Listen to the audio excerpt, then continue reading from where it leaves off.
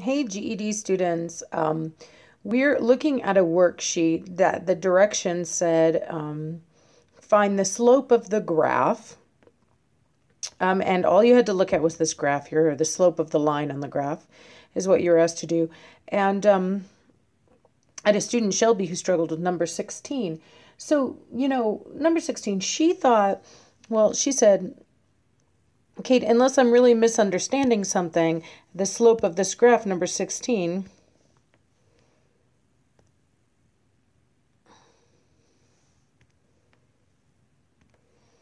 well, it ought to be negative 5 over 3. And yet the answer key doesn't say negative 5 over 3, it says negative 8 over 5.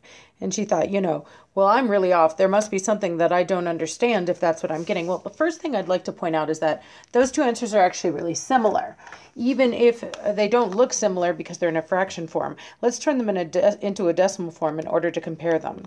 So um, to turn it into a decimal, I'm just going to take negative 5 and I'm going to do the implied division. A fraction bar means the same as divide, so I'm going to divide by 3.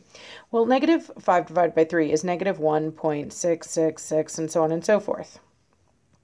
Then on the other hand, if I had negative 8 divided by 5, negative 8 over 5 is the same as negative 8 divided by 5, you would see I'd have negative 1.6.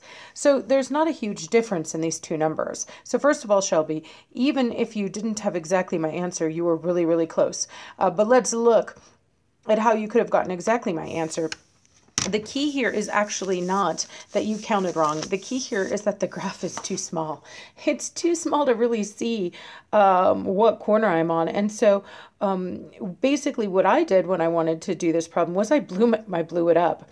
I didn't have a, um, I didn't have a, printed copy, I had a computer copy, so I was able to blow it up nice and huge. Now look at number 16 now, and let's compare our two answers.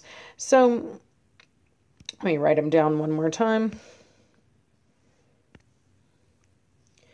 You said negative 5 over 3. The answer key said negative 8 over 5.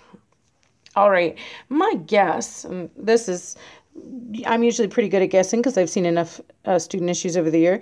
Years is that you probably started here and came across to this point here, here, which looks, when my graph was small, like it could work. You know, negative 5, 1, 2, 3, 4, 5, and then across 3, 1, 2, 3. That's down 5 across 3. That's a slope of negative 5 over 3.